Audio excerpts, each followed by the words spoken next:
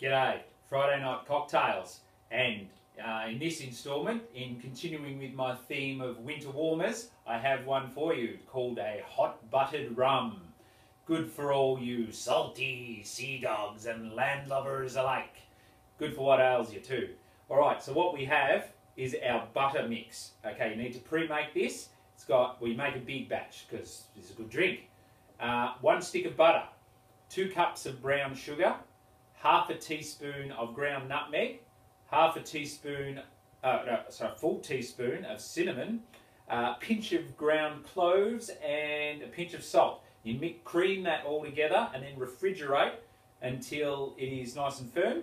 And then we put two tablespoons in our uh, heat-resistant mug. Three shots of spiced rum.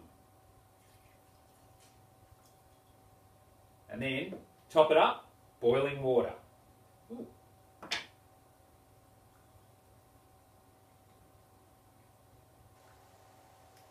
we go. Give it a good stir.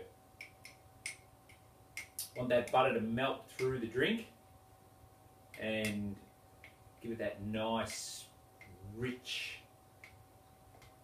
buttery taste.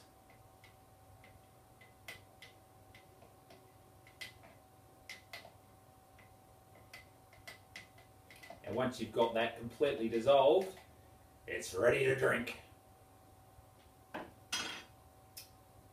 Cheers.